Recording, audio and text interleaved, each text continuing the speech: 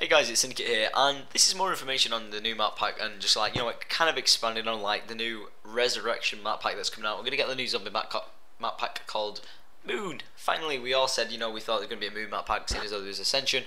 So many things leading towards the moon, like a death ray, which being from Earth to the moon and back down to cause some sort of epic death ray, which we can't wait for. So I'd kind of like to see some sort of, you know, amazing amazing like major weapon that would link towards the earth which could be the main way to kill the zombies. You know, like the final link.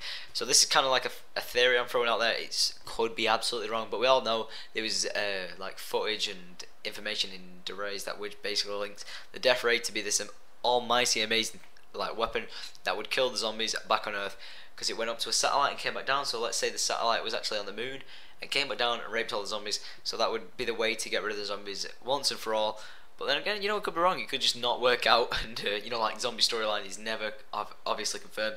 And in honest, if I have to be honest with you guys, my my opinion is I don't think they will actually finish the storyline. Really, I don't think so.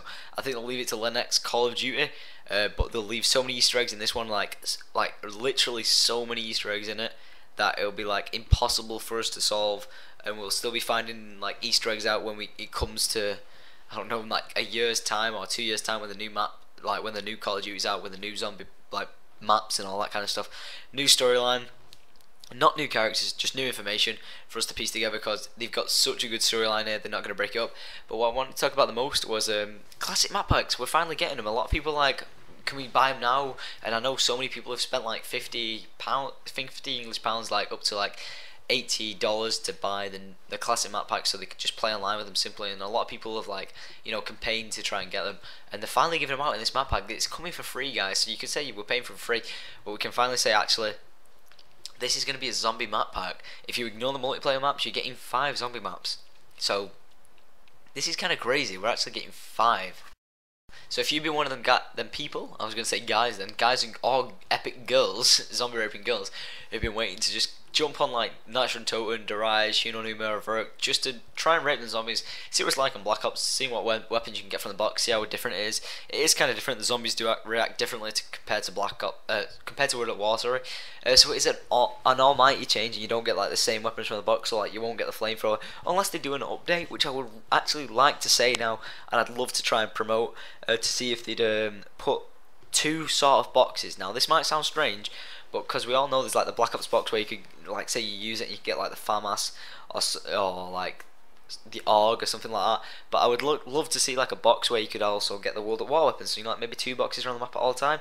I know it's a bit like contradictory of there being one box. You've got to go to one place. But say these two boxes. Say you want to get like a cer- certain old school weapon for like a World of War weapon uh, from the box, you have to go to that box. If you want a new modern weapon, you got to go to the Black Ops Web box. So like two different style of boxes, which would be really awesome, like a black box and a normal box. So the black box would obviously Black Ops, but that's just that's just like a suggestion I'd like to throw out there because it is good getting the, like one one set of weapons and a good suggestion getting two sort of weapons.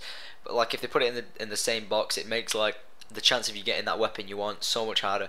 So it would be pretty awesome to see two boxes. I would honestly like to say I'd love to see that. But um, then again, you know, we can't. We I can't say this is going to happen. It's probably going to stick to the one box because I do have the classic map packs. Thank, thankfully to a fan who actually gave them to me because I was going to get the hardened edition, so I knew I got them. But I was just like, nah, I never play them because at first I wasn't thinking zombies was that big, but I just made sure I concentrated on zombies to get it as mainstream as possible. And I don't know, guys. If I've done a good job of getting zombies mainstream for you guys, then please let me know. I've really tried my best to try and get it like pumped up because we all know it is the best thing about Call of Duty. Now, you can say I'm wrong, but you know I'm right. Call of Duty Black Ops basically put its foot in the ground and said, Meh, my multiplayer's alright, but my zombies is epic. like, my multiplayer's good, but my zombies is better. Um, but that's how it's gone down. But basically, everyone gets the classic map packs with this map pack. So if you buy it, you are not just buying, oh, you get full multi multiplayer maps that you're not going to use if you're only a zombie player.